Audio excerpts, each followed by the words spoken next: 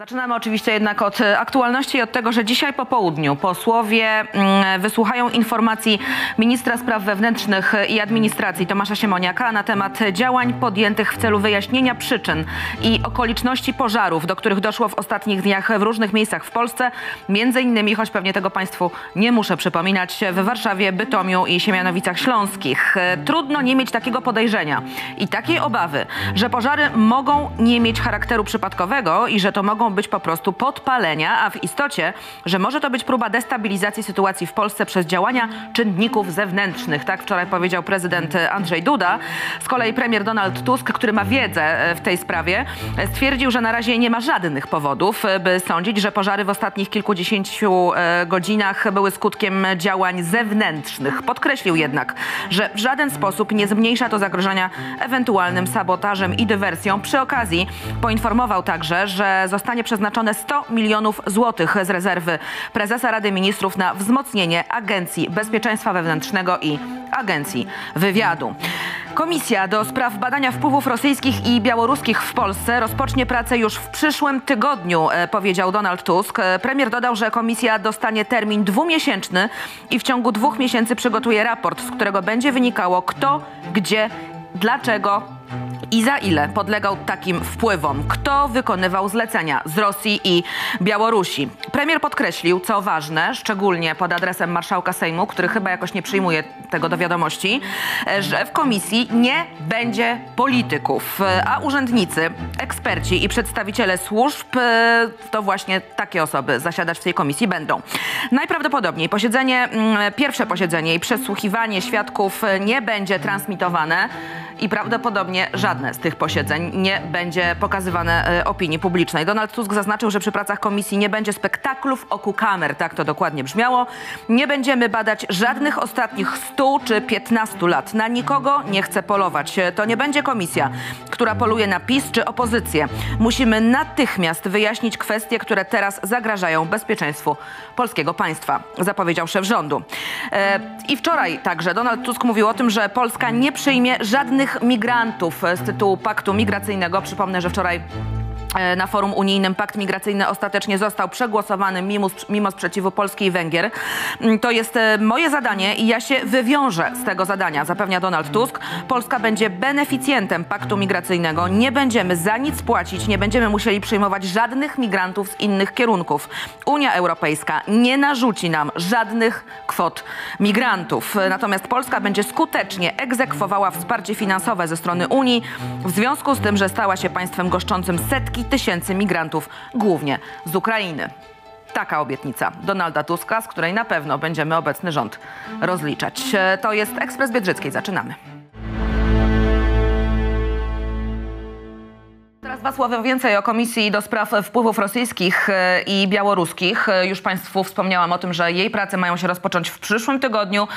I jeszcze raz podkreślę, bo nie wszyscy tę wiedzę przyswajają, że nie będzie w niej polityków, nie będzie w niej posłów, nie będzie w niej senatorów, nie będzie e, w niej osób w jakikolwiek partyjnie e, sposób powiązanych. E, Komisja do Spraw Badania Wpływów Rosyjskich w Polsce e, rozpocznie pracę w przyszłym tygodniu. To jest taka oficjalna zapowiedź premiera. Dodał, że dostanie dwumiesięczny termin. W ciągu dwóch miesięcy przygotuje raport, z którego będzie wynikało kto, dlaczego, za ile i po co wpływom ulegał. Według zapowiedzi premiera komisja rządowa mm, rozpocznie już w przyszłym tygodniu swoje prace. Proszę spodziewać się pierwszego raportu po 9 czerwca, a na pewno latem, nie później. Tak wczoraj podczas konferencji prasowej mm, stwierdził szef rządu. E, Kiedy minister Siemoniak, dodał Donald Tusk, składał dzisiaj, e, czyli wczoraj, Radzie Ministrów raport o zagrożeniach sabotażem, a to ma bezpośredni związek z wpływami rosyjskimi, to zapadła cisza, bo do wszystkich ministrów dotarło, że to nie jest polityka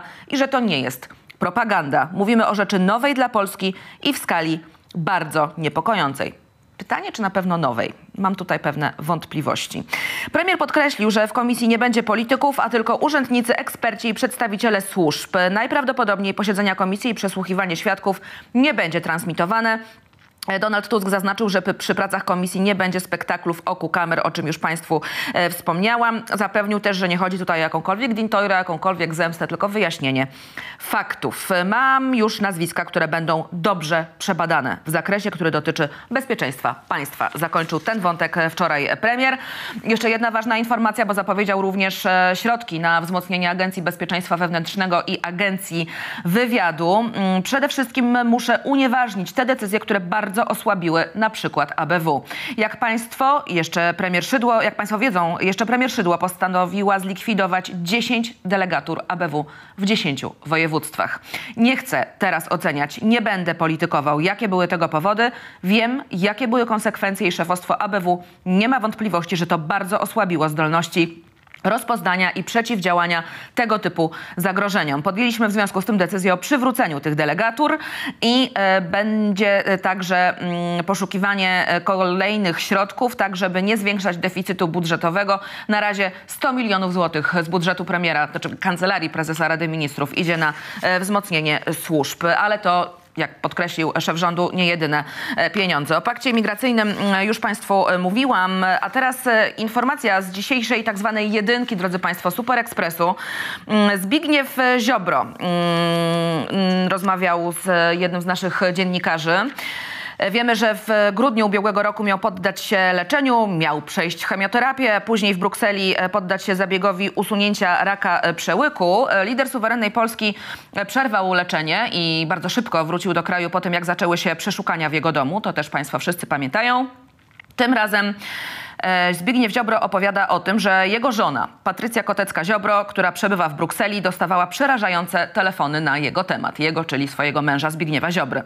E, Były minister sprawiedliwości mówi rzecz następującą. Kilka dni temu otrzymała telefon z informacją, że jej mąż właśnie umarł. Przerażona wydzwaniała do mnie, czy żyje. To psychiczne znęcanie się nad żoną, ale przede wszystkim nad matką dwojga małych dzieci. To także znęcanie się nad dziećmi, które przecież są świadkami tego wszystkiego. Więc e, no, to są słowa e, ministra Ziobry. Komentować je na pewno w dzisiejszym programie będziemy. A teraz dwie informacje, drodzy Państwo. Dwie? Niech dobrze sprawdzę. No powiedzmy, że dwie, bo za chwilę już Tomasz Trela u nas w studiu. E, Z naszego cyklu, jeżeli Państwo stoją, to proszę usiąść. Na razie będzie mowa o Jarosławie Kaczyńskim. O e, prezesie Prawa i Sprawiedliwości, który został podliczony w cudzysłowie e, w kontekście tego, ile zarobił jako wicepremier do spraw bezpieczeństwa w rządzie Zjednoczonej Prawicy. Otóż Jarosław Kaczyński jako wicepremier w gabinecie Mateusza Morawieckiego zarobił w sumie, siedzą Państwo?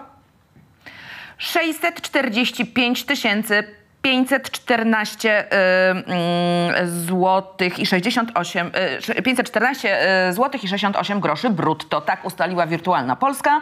Po odejściu z rządu prezes PiS y, nadal, przypomnę, dostawał na konto pełne wynagrodzenie już po odejściu z rządu.